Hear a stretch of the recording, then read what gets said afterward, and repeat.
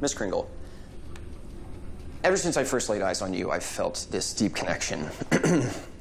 Perhaps you felt it too? Ugh, I'm cheesy. Miss Kringle, you've perhaps felt my affections from afar. Afar, really? Oh, God. Miss Kringle,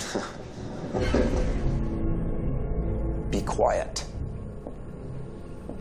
I don't need your opinion. What you need is to stop mumbling and fumbling and tell her what's up. Well, she's been bullied and taken for granted for too long.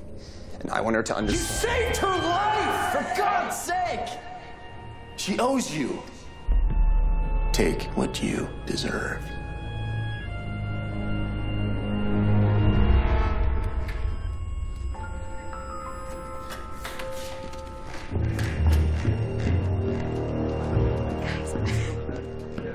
Miss Kringle, dinner tonight.